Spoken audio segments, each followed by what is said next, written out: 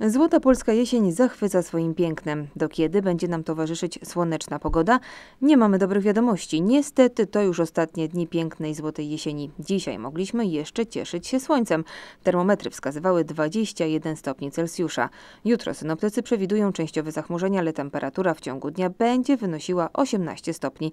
Znaczny spadek temperatur nastąpi w piątek. W sobotę będzie już więcej chmur, a temperatura nie będzie rozpieszczać, tylko 12 stopni w dzień. W niedzielę podobnie.